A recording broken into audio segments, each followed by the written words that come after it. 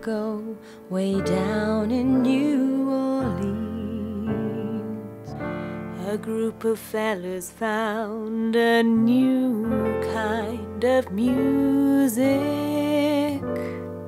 And they decided to call it jazz. No other sound has what this music has. Before they knew it, it was whizzing round the world.